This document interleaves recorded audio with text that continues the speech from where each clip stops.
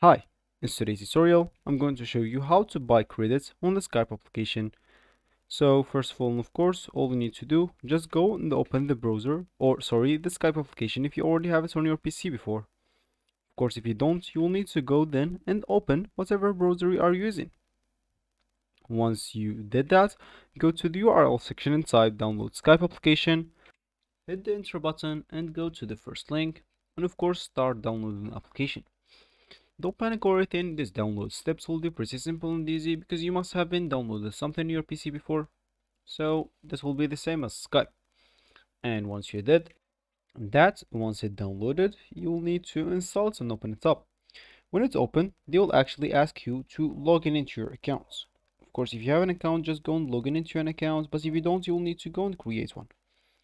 And again, once you did one of the two options, you'll find yourself here with this homepage or this main screen containing your uh, the welcome here with your name or your username. And as we said in the beginning of the video we would like to actually buy some credits on the Skype application. So of course if you want to do that we'll have an option to do it from this. Just click at this top left corner call options. And here at the bottom we'll have free tier options. Just go and click on this here, as you can see, your Skype credits call an SMS anywhere. It's affordable rates. You can just go in here and buy whatever credits you want. So simply choose whatever you want and just hit the buy credits option. This will open a bro browser window for you.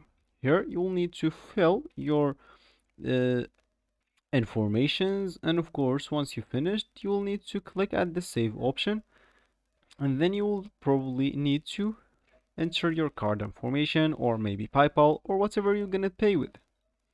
So that will be it actually. That will be actually for this tutorial. I hope you like it. Thank you guys for watching. Goodbye.